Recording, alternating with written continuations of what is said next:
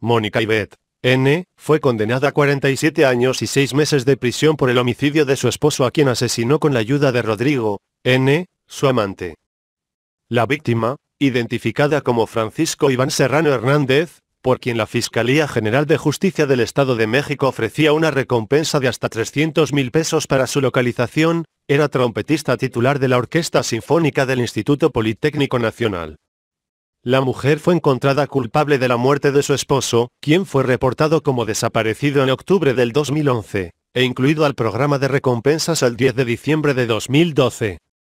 La indagatoria reveló que el 5 de octubre de 2011, la víctima acudió al domicilio de su esposa Mónica, en Santa María Ozumbilla, Tecamac, donde se encontraba su amante y juntos golpearon a la víctima en diversas partes del cuerpo, ocasionándole la muerte.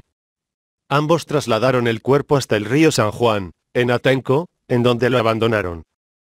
En marzo del 2013 policías de investigación detuvieron al cómplice de esta mujer, identificado como Rodrigo, N., y lo ingresaron al penal de la zona, en donde previo proceso legal, fue condenado a 47 años y 6 meses de cárcel por estos hechos.